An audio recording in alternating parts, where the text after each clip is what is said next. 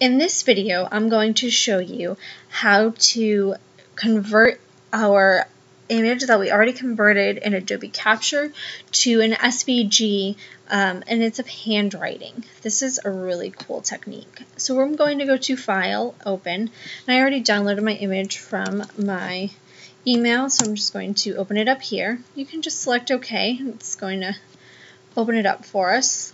We're going to maximize it and I'm going to use the plus and minus keys on my computer to zoom in and out. So if you're wondering, that's what I'm doing. I'm going to move it to the left a little bit. I'm going to go to Path, and I'm going to trace bitmap. I select colors. Um, that's just what I'm used to, so that's what I like to do. I'm going to unselect Smooth and select Remove Background. Since this is a pretty simple image, I can do four scans. Our scans is usually the number of colors in your image. Um, sometimes I like to do six if it's more shadowing, but because it's handwriting, four should be good enough for us. And then we're going to click Update to show us and push OK. If your image doesn't come up when you push Update, you probably didn't select that. I do it quite a few times. Um, so now you can see the OK went back, so we can get out of this menu here. And I'm going to pull this to the side. This is our image. So I'm going to delete the original. You can keep it if you want for reference. Usually I pull it up on my phone or my tablet. It doesn't matter. We're going to select our one we traced already and go to Object, Ungroup. If you remember, we did uh, several scans, so they're all stacked on top of each other. And I'm going to pull this apart. Now because they are, some of them are lighter. I like to just select this little paint down here while, I'm, while the item is selected. I choose that and it makes it darker to see, um, just more definition. So these all look pretty much the same. So I'm just going to keep the one over here on the left. Now I'm going to zoom in and this will be really, handwriting is usually very easy to clean up as long as the background was clean. So what I'm going to do is select my little node tool over here, and I'm just going to drag it around these and delete it. These little ones here. And this is really just all you need to do to clean it up. The nodes are showing you all of these little pieces that would cut out if you just saved this and uploaded it to Design Space. Um, now, as I can see over here, the period is really close to that line, so I'm going to zoom in really close to see if they're touching, which they are. So what I'm going to do, because this is a straight line, is I'm going to go over here to my uh, square tool. I'm going to change the color, because if you look up here, it will show us that was black. Um, I want this black, but I'm going to do this so we can see the difference and I have to change my settings. I keep forgetting to do that. And I'm going to, um, the black doesn't matter in this case.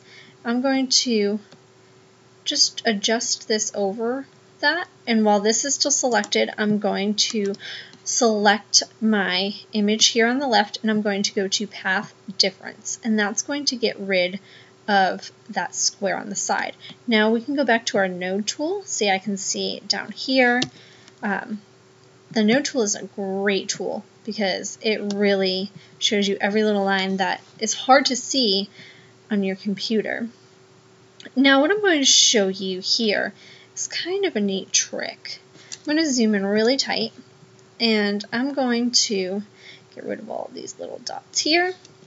And then you can see over here there's a little dot here and there's a little dot over here. So we can get rid of all of that. Now we can see that this is kind of a jagged edge. So if we want it to clean it up, we can select these and delete them. And then this little thing comes out and we can kind of bend it around to shape it like the letter should look. So it's up to you if it's a sentimental thing, you you know, and you want to leave it exactly as it is, you can. If you um, want to clean it up. I know I had an image that I was doing of a person who was bald, and the lighting made it look like he didn't have the shape of his head. So by doing this, I was able to kind of stretch out a line around his head. So you can also do this, where we're going to select these two nodes, and we're going to just use the arrow keys on our keyboard to kind of pull it out and stretch it around. And um, we can pull it up here. Now once it's here, I can use the shift key on my keyboard and select, um, if you saw um, my node tool, see how it shows you these red, it's hard to click on, right there, these red pieces. That would cut out because these aren't connected. So by selecting it with my node tool, I can select these and I'm going to go to path union. So that's going to union that line. So now you see that little cut isn't there anymore. So I can zoom in and now I can get rid of this. But it's going to cut all around here and not on the inside because I did union with those nodes. So this kind of, I can even go into with my node tool and I can just pull right here and kind of shape it. It's really neat, um, but it's up to you on if you want to keep the sentimentality of your image or if you like those imperfections or if you want to clean it up a little more. And as always, we have to make sure that it, our image fits into this. I'm going to just highlight this little arrow and shrink it down a little more. Then you go over to File, Save As. You can name it whatever you'd like and just make sure it's a plain SVG and you're done.